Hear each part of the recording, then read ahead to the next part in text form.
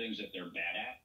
You know, even astronauts are bad at certain things. You know, sometimes you can help elevate people, you know, but sometimes it's just not in their DNA to, uh, you know, be to act and behave a certain way. So you need to understand, first of all, who is your crew?